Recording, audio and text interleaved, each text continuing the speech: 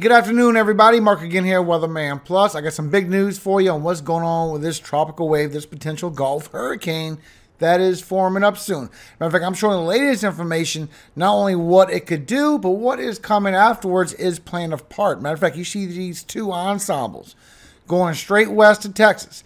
This has nothing to do with this invest. This has nothing to do with this potential tropical storm and hurricane.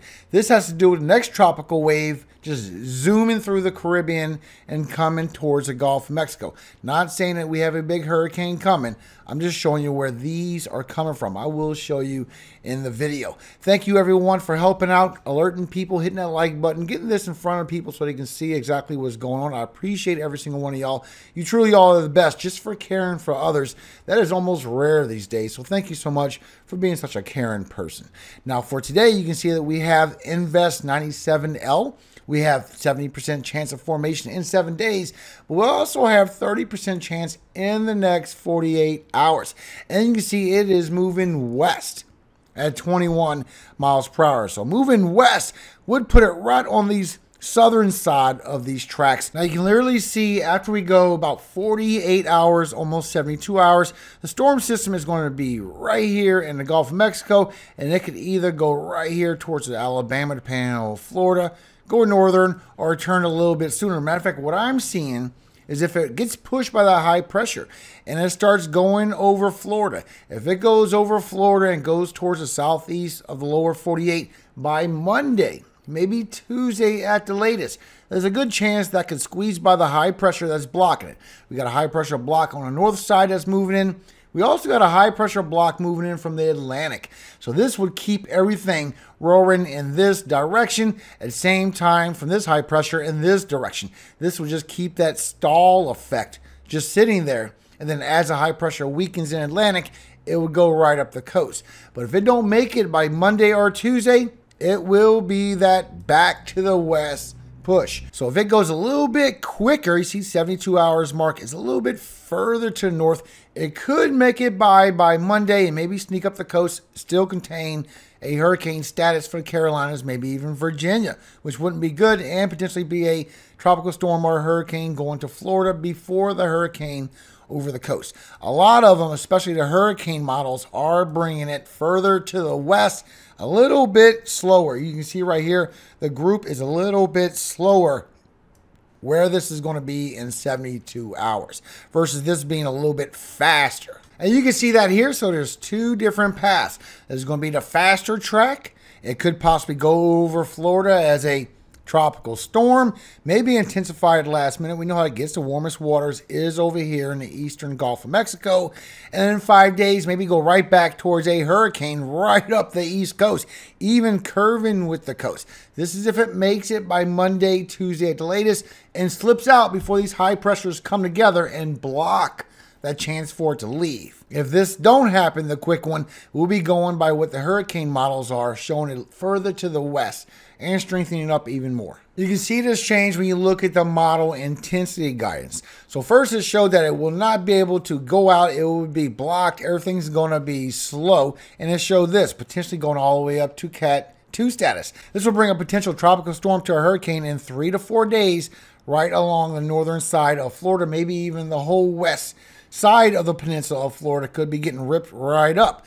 Now, the newest one shows that, hey, it could make it quicker, maybe go all the way up to a tropical storm, maybe a weak tropical storm, maybe a strong tropical storm to a hurricane, still going towards Florida if this was to show true towards what's going towards the GFS, the latest run. After going on landfall, staying a tropical storm all across landfall of Florida, coming back out by the Carolinas, strengthening back up toward a tropical storm to a hurricane again. This is the latest intensity. This is going to change. Everything is going to move around until we get that surface low. When we get that surface low, whether it's on the northern side or the southern side of Cuba, is going to play everything in where this storm is going. Now, the latest chance for just a tropical depression with the Euro, literally in 24 hours, has it forming already a 100% and it shows it will remain strong all the way around. And you see how it gets that block. It stays strong all the way for 72 hours. Once you go past 72 hours, everything slows down because it starts hitting that high pressure, starts getting that potential stall effect. And you can see this from the latest run with the European model, deterministic. As it comes up as a group of disorganized thunderstorms, it strengthens up, but then it gets that early turn right towards Monday, Tuesday at the latest. Look at that. It couldn't make it out by the end of Monday by Tuesday. Once it hit the Tuesday factor, it stayed there, got trapped, becomes a stall, strengthens up to a tropical storm, a hurricane right there off the Carolinas, and starts going back to the west again because that high pressure expanding out. If it don't go out by Monday, late Monday, it will get trapped into a stall and go back west again. But it don't make sense when you look at the latest model run with the European. You see how weak it has it all the way to northeast Gulf of Mexico. This is past four days. We're not even seeing a tropical depression. We're not even seeing a tropical storm. It's just a tropical wave. This is not believable. It's moving into a lot of very warm waters, above average waters. The dry air is not getting involved in it, and it don't have a lot of shear hitting on it. So this is not believable. Even the intensity guidance says in 72 hours to four days, it's going to strengthen up from a tropical storm towards a hurricane. So this right here is not believable. But still, to show it to you, it shows it going across, finally strengthening up after it crosses off Florida, literally in six days, which is against all the information. Still showing it will get blocked even on this run and go back to the west. Strengthening up right there off the coast of the Carolinas. Now, when you go by the control member of the Euro, you can see it brings the most intensity of the vorticity growing on the northern Gulf, showing that it would go into this path and start intensifying into this direction, not going out to the east. And this is what we see according to the hurricane models as well. Matter of fact, when you look through the hurricane models, when you look through the weather research and forecast model, this is the same model that showed us that it will be going over Hispaniola and it would go west a little further to the southern side and make a more westward push, which shows correct. This one shows now in 48 hours that it will move over a little bit more, be on the southern side of Cuba, not the northern side, and start strengthening up as it goes into the Gulf of Mexico. It would not remain weak. It would start strengthening up to a strong system right there in the Gulf. And this is 72 hours, not a weak tropical disturbance. This is a tropical storm forming up, potentially becoming a hurricane and headed north. Now, there's two different hurricane analysis forecast models. We only see this when we have an invest. So the A, the A model is showing that that will be right around the northern Gulf of Mexico. Also shows it potentially could remain weak as it goes in that general direction. Now, when you take a look, you also have the B model. Takes it a little bit to the west also shows that strong high pressure also shows it strengthening up to a hurricane right before landfall. It's not some weak wave going to the east. You can also see on your precipitation, this is only the next five days.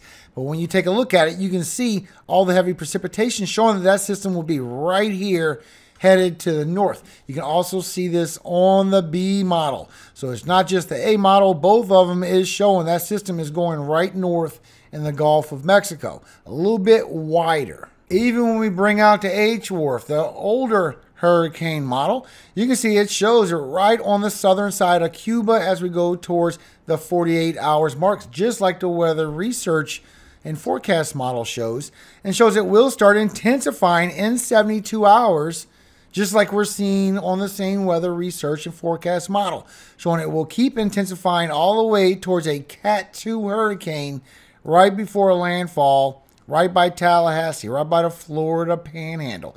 And then you see it's still doing that stall effect. You see that for hours. Still doing that stall effect, still add up to a lot of heavy rainfall and winds. Showing that it will be right towards a Cat 2 hurricane, bringing you all the way up towards almost 90 miles per hour sustained winds as that heads to the north. Now, watch this. This is where you're going to see that next wave coming after the 10th towards the middle of August. Remember, it's potentially going right towards the coast. If it gets steered by Bermuda High, it could be a fish storm if it turns earlier.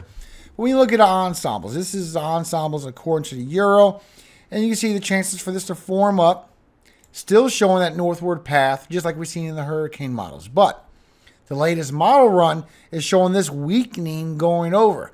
So if it goes over by Monday, it could be a weaker system. We could get away with that, be a bad flooding event, be a worse event towards the Carolinas, and further on, it would definitely strengthen up to a hurricane, and they would have problems.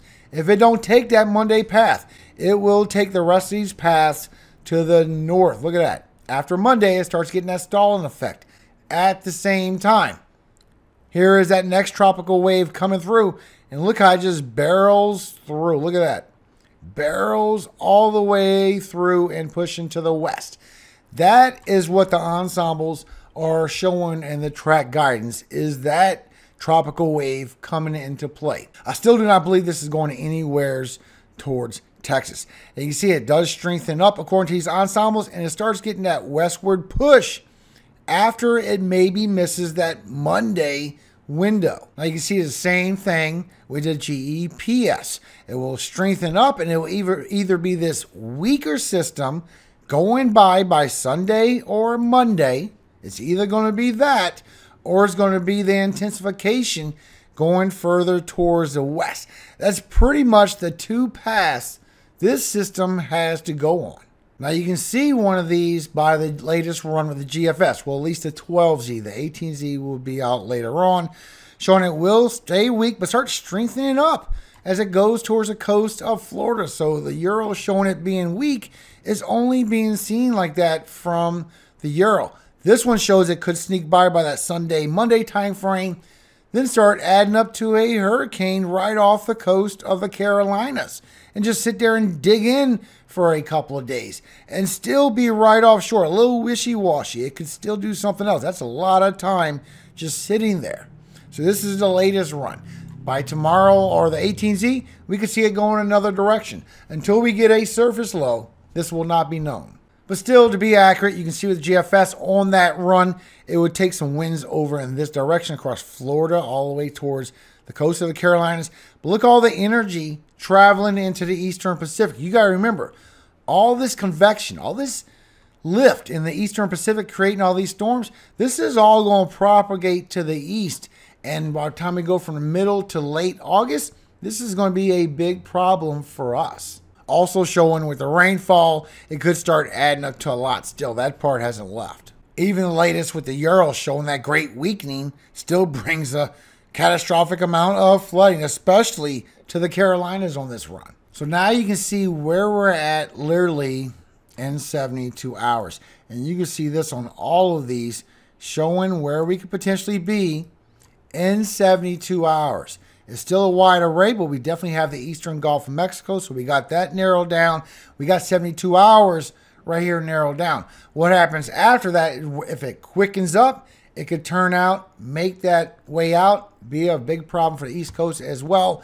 If it slows down, it will go further to the west and be more of a threat towards Alabama, maybe even all the way towards Mississippi. And you also can see that next tropical wave coming off pretty strong off the MDR, despite the dry air and the dust. It's still pretty strong compared to these other waves that got the wind knocked out of them. This is the one you got to watch for that's trying to race up and be a part of the problem later on. I will keep you updated. Thank you again for your time, everybody. I will keep you updated first thing in the morning again so we know exactly what's going on with this tropical wave. I appreciate everyone that helps share this information so others can see what the updates are. God bless you and your families and keep all of you very safe. Mark 11, 22 through 26.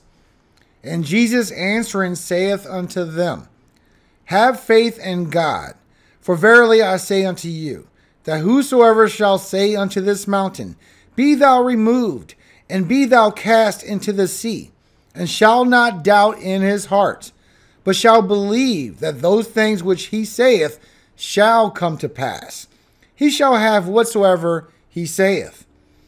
Therefore I say unto you, what things soever ye desire, when ye pray, believe that ye receive them, and ye shall have them.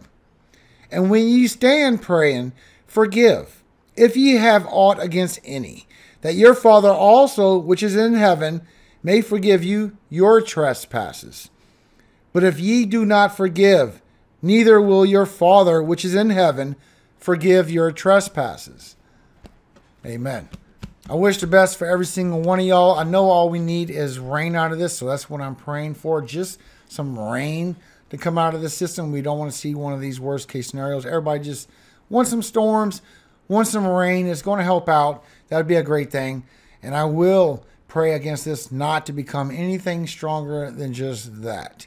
Remember, above all things, all glory does go to God, our Father in heaven, Yahweh. And I always hope He keeps you safe every single day of your life, you and everyone around you, and forever. Amen. Hallelujah. Amen. Have a great night, everybody. I'll see you first thing in the morning.